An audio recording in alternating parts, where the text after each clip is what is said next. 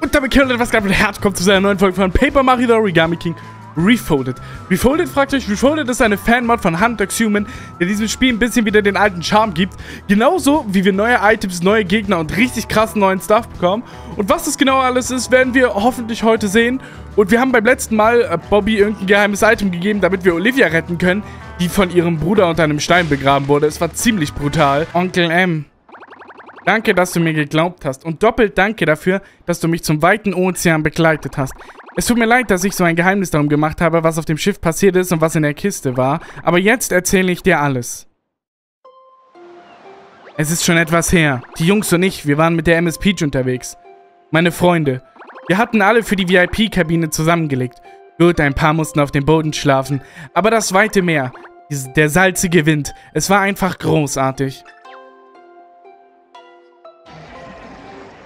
Doch dann hat einer, hat, hat diese komische, monströse Blooper, der, der hat einfach das Schiff angegriffen. Wir haben alles getan, um die Peach zu beschützen. Aber er war zu stark. Und dann ist es passiert. Ich habe meine Lunte verloren. Sie wurde von Bord gefegt und ich mit ihr. Mitten im weiten Ozean.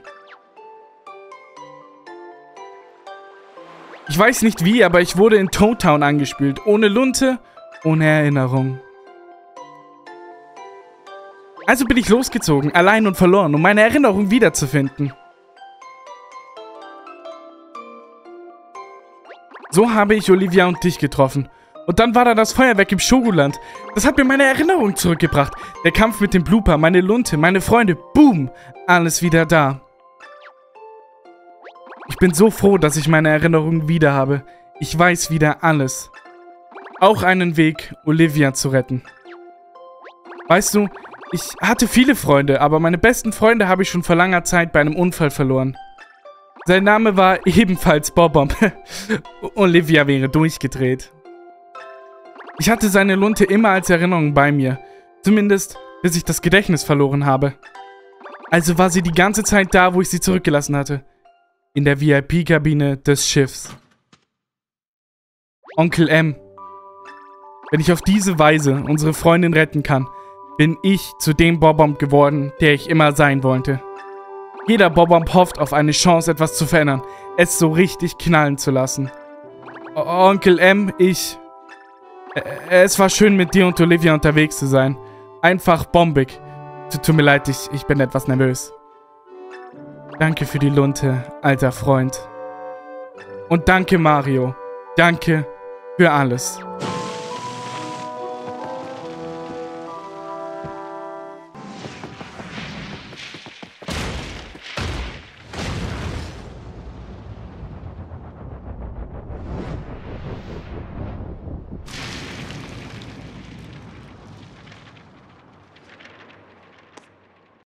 Ja, Nintendo übertreibt halt komplett, holy shit.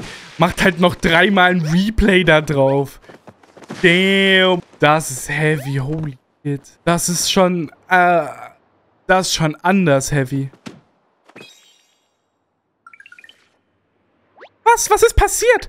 Hast du mich gerettet, Mario? Ich danke dir. Plattgedrückt zu werden ist wirklich schmerzhaft. Aber jetzt geht's mir schon wieder richtig gut. Wow, der ganze Felden ist weg zu Schnipseln zerpulvert. Wie ist das denn passiert? Hast du so eine Art Dynamithammer aufgetrieben oder was? Einfach so Julian Bam, oder wie? Boah, war der unlustig. Mo Moment, wa was? Wo, wo ist denn Bobby? Ich, ich sehe ihn gar nicht. Mario? Mo Moment, hat er...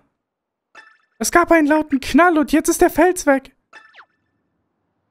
Nein, nein. Das, das darf nicht sein. Damn, ist das hell. Holy... Für ein Nintendo-Game ist das richtig heavy. Lass uns Olivia hinterhergehen. Oha, was Nintendo hier für Themen behandelt. Das ist schon krass. Das ist schon krass. Ich frag mal den Typen hier. Na sowas, Tag wir haben sonst nicht viele Besucher. Aber du bist nicht mal der erste Besucher. Gerade eben ist hier so eine weinende Riesenbiene vorbeigebrummt. Alles klar, wie cool ist das denn? Eine Riesenbiene. Oh boy, okay, heavy. Komme ich da hoch? Nein, okay, cool. Komm her. Ey, was soll denn das denn? Ich bin am Graben, du Affe. Oh.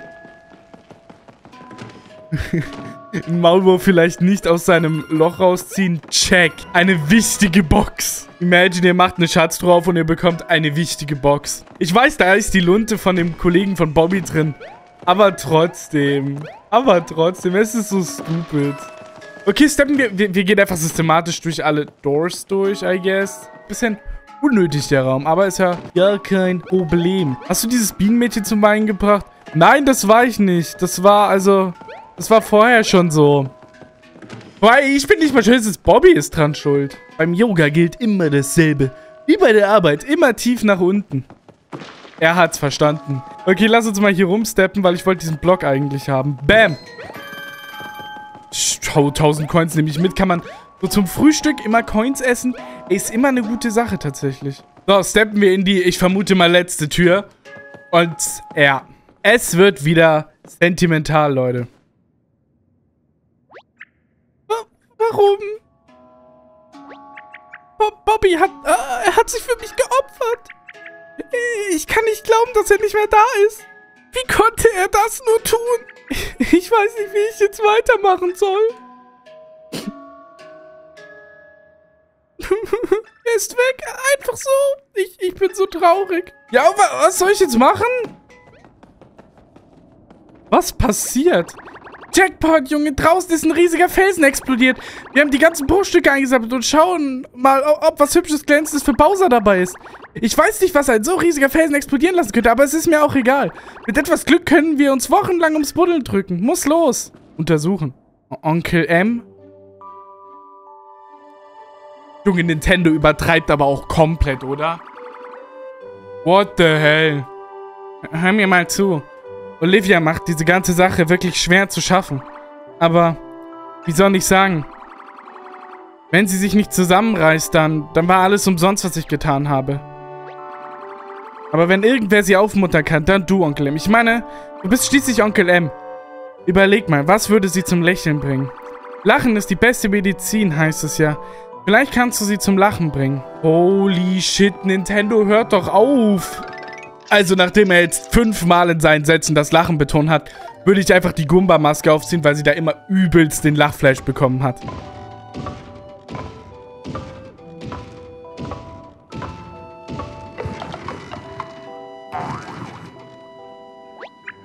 Oh, das ist nicht fair, Mario. Hör auf, mich zum Lachen bringen zu wollen. Aber es sieht einfach zu lustig aus. Danke, das ist so lieb von dir. Jetzt fühle ich mich wirklich besser. Ich kann hier einfach nicht trübselig herumsitzen. Bobby hätte das auch nicht gewollt. Lass uns los, lass uns weitermachen. Wir müssen meinen Bruder unbedingt aufhalten. Danke nochmal, Mario. Und schon mal danke für deine zukünftigen Heldentaten. So, so dann. Sehen wir uns um die, die sehen wir uns äh, Deutsch. Genau. Aber zuerst musst du dieses lächerliche Ding abnehmen. Sonst kann ich nicht ernst bleiben. Yo, okay. Das hier sieht so sass aus da oben. Keine Ahnung. Dann lass uns doch mal zurücksteppen. Gut, das hat mich wieder auf Spur gebracht. Gehen wir durch den Tunnel und finden wir die Luftschlange. Manchmal muss man eben etwas von der Seele weinen, stimmt's? Wo ist eigentlich Bobby hin? Huch. Spürst du das auch? Mir kräuseln sich die Nackenfalten. Ich fange irgendwie Bobby-ähnliche Schwingungen auf. Aber das bilde ich mir bestimmt nur ein, oder? Wir haben nur noch unsere Erinnerungen, aber das reicht nicht. Wir tun das hier für dich, Bobby. Jo, wie heavy. Was ist los, Mario? Gehen wir. Junge, was Nintendo hier für ein Fass aufmacht, ist echt krass. Echt krass. Finde ich aber gut, dass mal so ein paar ernstere Themen... Also, ist ja... Also, soll ja... Ist ja... Also, ist ja auch gut mal, dass mal ein bisschen ernstere Sachen aufkommen. Aber wir machen jetzt erstmal hier, komm. Die Tür auf. Warum wird eine Tür eigentlich so verschlossen wie eine Packung Milchschnitte? Ich verstehe es nicht. Hier sind die Schuhcards. Stieflimousine 2020, Leistung 150 Yoshis, Höchstgeschwindigkeit Goldpilz. Hört euch dieses Prachtstück eines Stiefmobils an. Oh yeah, dieses Modell, das die Stieflimousine, das einzig wahre der 2020-Generation, düst durch die Wüste wie ein wütender Kugelwilli. Mit einer Leistung von 150 Yoshis kannst du dann noch ordentlich den Turbo reinhauen. Aber dann solltest du lieber deinen Schnurrbart festhalten, denn die Höchstgeschwindigkeit beträgt Goldpilz. Oh yeah, eine kostenlose Testfahrt ist das Mindeste, was ich für dich tun kann. Durch Annahme dieser Pfeife stimmst du automatisch unseren Leasing-Geschäftsbedingungen zu. Oh yeah. Die Stiefmobilpfeife. Ruf dein getreues Stiefmobil herbei, wenn es in der Wüste ist. Einfach die Pfeife zücken und das Stiefmobil kommt angesaust und bringt dich überall hin mit einer Leistung von 150 Yoshis. Zumindest in der Wüste. Die Reifen sind nämlich für kein anderes Terrain zugelassen. Und jetzt nichts wie ein eingestiegen und abgezischt. Bäm, ich mach euch alle kalt, mache ich euch. Den kann ich auch umfahren, jawollo. Zu was haben sie mich denn zusammengefallen? Zu einer Schaufel oder einem Spaten? Ich muss es wissen. War eine Schaufel oder ein Spaten? Ich weiß es nicht. Es ist mir auch eigentlich relativ egal. Ich will einfach nur rumdüsen, ist voll cool. Herzlich willkommen in der großen Sandpapierwüste. Durch das neue Update 0.7, welches jetzt äh, vor ein paar Wochen raus... Oh, da ist ein neues Item, ich habe es genau gesehen. Wurden in der Wüste ganz viele neue Gegner hinzugefügt. Und dieser rote Block, den ihr da seht, da, das ist ein neues Item. Und da gehen wir jetzt direkt als erstes hin, weil ich will neue Items. Dafür müssen wir aber diesen Kugelwilli, äh, Kugelwilli, ganz genau, Kugelwilli, müssen wir diesen Dude da zerstören. Ich habe keine Ahnung, wie man das macht. Äh, das kann unmöglich so in Ordnung sein. Kein Wunder, dass es hier so finster ist. Warte mal, es ist nicht einfach nur dunkel am Himmel. Das ist ja wirklich ein schwarzes Loch. Jemand scheint die Sonne geklaut zu haben. Wie kann so etwas überhaupt passieren? Wie schafft man es, ein Loch in den Himmel zu machen? Naja, zumindest ist es hier draußen gerade nicht brennend heiß. Und wir versuchen uns wegen des Lochs erstmal keine Sorgen zu machen. Ich will den Dude besiegen. Jawohl, wir haben ihn. Glitzerwurfhammer. Wir haben den schon. Egal. Wir haben den gekauft. Okay, die können wir nicht bekämpfen, das ist gut zu wissen. Da leuchtet was. Ah, jetzt gibt es auch Bob-Bombs? Oh mein Gott, wie krass. Ist jetzt erstmal eine Vermutung. Ich glaube, wir sollen es noch nicht groß in der Wüste umgucken. Weil wir werden uns hier später noch äh, häufig genug bewegen. Hm, was ist das denn? Es sieht so aus, als käme man hier dort rein. Wollen wir es vielleicht einmal probieren? Sieht irgendwie aus wie ein Riesentod. Hey, sieh dir mal diesen großen, dürren Kerl da an. Und die Spitze sieht fast aus wie jemand, den wir kennen, oder? Hihi. so, die gelbe Luftschlange führt hier lang. Ich würde der erstmal folgen. Ist, glaube ich, eine ganz gute Idee, weil schließlich waren wir die ja... Die verschwindet im Boden. Hey, das Ende der Luftschlange. Wir haben es geschafft. Der Weg hierher war kein leichter. Erst der roten Luftschlange folgen, dann der blauen. Wir mussten manche Schwierigkeiten überwinden und es gab auch traurige Momente. Aber jetzt, da wir die gelbe Luftschlange so gefunden haben, geht es endlich aufwärts. Ich fühle es. Mo Mo Moment, wo, wo ist das Ende? Ist es etwa im Sand vergraben? Och nee, warum denn? Was machen wir jetzt? Wir können uns doch nicht durch den Sand graben. Nein, der Sand ist Papier. Das geht sowieso nicht. Halt, warte, da ist eine Inschrift auf dem Podest. Vielleicht steht da was, wie man sich nach unten graben kann. Ja, also, Ma Mario, das kann ich überhaupt nicht lesen. Aber das sind seltsame Schriftzeichen. Tut mir leid. Die, die verstehe ich nicht. Gerade als ich dachte, es wird besser. Ich, ich weiß nicht. Die Sonne ist weg. Alles ist kaputt. Wir sind so tot. Das Einzige, was jetzt noch helfen könnte, ist vielleicht ein Like und ein Abo dazulassen. Ich weiß es nicht. Oh, da hinten sind Lichter. Da gibt, das gibt mir wieder Hoffnung. Die sind doch so schön bunt. Solche Strahlen sind doch nur von belebten Orten. Vielleicht finden wir dort jemanden, der die mysteriöse Schrift lesen kann. Das ist eine gute Idee. Lass uns da mal doch hinfahren.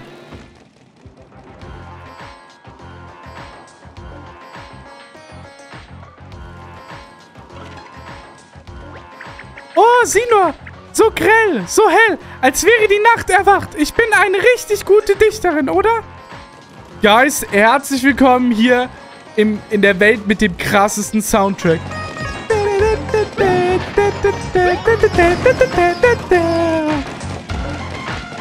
Es ist so krass. Es ballert so hart. Also wirklich, Musik ist perfekt, sauber eingepackt. Dankeschön. Da oben hängen Pilze und sowas. Aber ich kann da nichts machen. Es ist eine meiner liebsten Welten in ganz Paper Mario. Es ist so cool. Willkommen in Sniff City. Vielleicht hast du schon mal von einem anderen Namen für diesen Ort gehört. Den kannst du aber vergessen. Ist auf jeden Fall eine richtig schöne Stadt. Sniff City soll anders heißen? Echt? Vielleicht hört man ja auch die Stadt der Ganoven oder so. Ey, es sieht so schön aus. Können wir hier was kaufen? Ey, Lex, sind extra günstig. Natürlich kannst du hier was kaufen. Ja, aber nichts wie in den vorherigen Welten auch. Bis neulich. Tschüss. Steppen wir doch hier mal rein. Ich will mich eigentlich überall umgucken, weil alles sieht so cool aus. Das sieht sehr sass aus. Ist das ein Spiegel oder so? Ich weiß es nicht. Aber hier scheint es nichts weiter zu gehen. Dann schauen wir doch ins nächste Zimmer rein. Lass dich von mir nicht stören. Ich lasse mich von dir ja auch nicht stören. Wildfremde Sniffets beim Beschnüffeln von Betten belästigen. Manieren haben manche Leute. Sorry, okay. Dude. Ey, die Musik, die ballert so hart, wirklich. Ich liebe sie. Ein Reisender, willkommen in einem kleinen Wüstenparadies. Sie müssen müde sein von einer langen Reise. Vielleicht möchten Sie es in Ihrem Luxushotel erholen. Ich stehe in keinerlei Verbindung mit dem und erhält halt auch keine Provision. Keineswegs. Ja, ja, du bist safe so Werbungmacher. Apropos Werbung, schaut euch mal diesen Luigi hier an.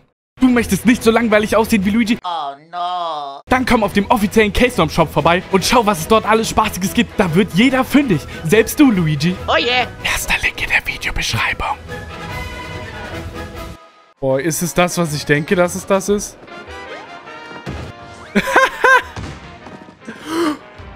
da, da, das ist ein neuer Hammer. Das habe ich genau gesehen. Da will ich hin. Lauf, lauf, lauf. Es tut mir leid, dass du tot bist. Es interessiert mich überhaupt nicht. Den Hammer holen wir als letztes. Und wir kriegen den Ultra-Hammer. Ein extrem starker Hammer und schicker Hammer zugleich. Äußerst mächtig. Let's go. Komm mir jetzt bloß nicht mit, ich hab's ja gesagt. Ich, es tut mir so leid, dass du tot bist und dass ich dir gerade noch einen Hammer in den Rücken gehauen habe. Und ich liebe es, dass hier nicht nur Toads und Sniffits rumstehen. Du bist nicht der einzige Besucher in letzter Zeit. Bin mir sicher, dass es ein Toad war und kein Sniffit. Komischer Kauz. Ein Toad? Ich dachte, die gibt's hier überall. Ein paar Löcher stopfen kann ich ja noch off-cam. Ich hoffe, das ist okay für euch. Okay, was gibt's hier hinten noch? Also ich bin mir sicher, dass wir... Das sieht nach Toad aus, ja ganz genau. Ähm, ich bin mir sicher, dass wir in dieses große Gebäude müssen, aber ich möchte mich gern vorher hier hinten nochmal umschauen. Vielleicht gibt's ja noch irgendwas Spannendes. Ja, ja, das sieht schon so aus, als müsste man da rein. Schaut mal, wie die Sniffits da posieren und so. Wir holen uns aber noch den Block hier vorher. Mit Coins. Hier hoch kommen wir gar nicht. Okay. Willkommen im Palasthotel Sniff City, Reisender. Oh, ist das toll. Wir haben uns ganz schön abgemüht bisher. Verdienen wir nicht mal eine Pause mit Zimmerservice und so, Mario? Die Idee klingt ganz gut, aber wir können hier hinten noch was erkunden. Da ist einfach das L von Luigi drauf. Eröffnung demnächst. Luigi macht einfach seinen eigenen Laden auf. Wie cool ist das denn? Und während Luigi das macht, steppen wir doch mal hier in dieses wunderbare Gebäude und schauen, was uns hier drin erwartet. Okay. Mit was macht der Dude Musik, bitte? Ey, was geht ab? Hast du einen Musikwunsch? Oh, warte, ich nehme gar keine Musikwünsche ab, an. Tisch ab. Okay, sorry. Oh, hier können wir nach hinten. Oh, hier können wir sogar durchboxen. Oh, da ist ein Toad. Aber, habe ich eine Poolparty verpasst? Ah, das ist ja zum Zusammenfalten, Mario. Boah, mir tut mein Hals jetzt schon weh. Nach einmal Toad reden. Wir können doch hier safe rausspringen. Das sieht mega sass aus. Ja, können wir for real. Let's go! 100 Coins. Danke für gar nichts. Lass uns doch mal weitergehen und gucken, was uns hier erwartet. Hier ist die Rezeption. Entspannte Musik und ein Toad. Da danke fürs Retten. Ist super schön. Äh, wir sollten vielleicht mal mit dem, mit dem Sniffet hier talken. Der hat nämlich den Key dahin. Willkommen, willkommen. Es ist immer wieder eine Freude, Reisende zu empfangen. Leider sind wir momentan völlig ausgebucht, aber alternativ können, wir, können sie in der Wüste übernachten. Oh, wir, wir, wir suchen gar nicht nach einem Zimmer, sondern nach jemandem, der seltsame Schriften lesen kann. Ist hier vielleicht so jemand zu Gast? Ah, Professor Toad. Der arbe äh, arbeitet mit ihm zusammen. Er ist, er ist leider gerade nicht hier. Aber wenn Sie äh, seine Kollegen sind, kann ich Ihnen ja ohne Bedenken seinen Zimmerschlüssel geben. Bestes Hotel, wo gibt. Schlüssel des Professors. Wo mag er nur stecken? Das weiß ich. Mario, ich glaube, er denkt, wir arbeiten mit äh, einer Art Toad-Professor zusammen. Das ist ein Glück, oder?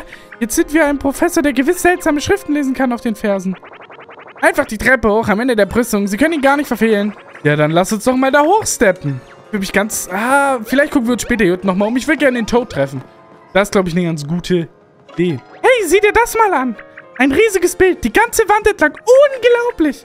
Aber was ist das? Das sieht fast aus wie ein Comic. Ah, und hier sind wieder diese seltsamen Zeichen. Hoffentlich kann uns der Toad, den wir suchen, damit helfen. Äh, ich, ich hoffe doch. Vier Augen, die Toad-Statuen und dann Feuervogel und keine Ahnung. Ja, nehmen wir doch den Schlüssel des Professors und steppen hier rein. Der, der, der Schlüssel passt nicht. Was ist da los? Oh, Ver Verzeihung, Verzeihung. Ist es tut mir so leid. Ähm, also, das, das habe ich ganz vergessen. Wir haben hier einen Freund in, den, in die Besenka... Ich meine, in eine unserer Schnäppchen-Suiten, diese getrademarkt. Es tut mir leid für die Verwechslung. Folgen Sie mir einfach. Wir haben den Professor in die Besenkammer verlegt. Ehrensniffets, Ehrensniffets. Oh mein Gott, wie... Äh, wie... Oh mein... Imagine... Ihr habt ein Zimmer, seid nie da und ihr werdet dann in die Besenkammer verlegt. Weiß ich jetzt nicht, was ich von halten soll. Oh, das ist ja ganz nett hier. Ich möchte Zimmerservice. Schließlich bin ich zum ersten Mal in einem Hotel. Und dieses Bett stilvoll, aber gemütlich. Ha, hier könnte ich mich richtig entfalten. Aber wir, wir haben wohl keine Zeit zum Entspannen. Nein, haben wir nicht. So, hast du irgendetwas gesehen, das, das helfen könnte, mit dem Professor zu finden? Äh, ich denke, sein Tagebuch.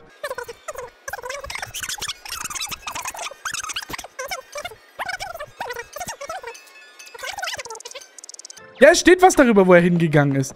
Zum Solaraltar. Ich habe keine Ahnung, wo das ist, Mann. Wir werden ihn hoffentlich finden. Und zwar beim nächsten Mal, Guys. Wenn ihr jetzt noch ein Video sehen wollt, wo Mario Bros. Wonder in DS-Grafik als Fangame existiert, dann checkt dieses Video auf. Sonst lasst noch ein Abo da. Ich wünsche euch noch einen schönen Tag. Ciao, ciao, Leute.